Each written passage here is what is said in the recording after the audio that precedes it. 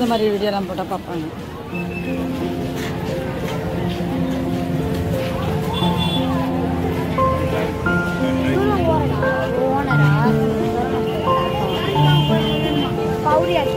ஓனரா இருக்கார்ல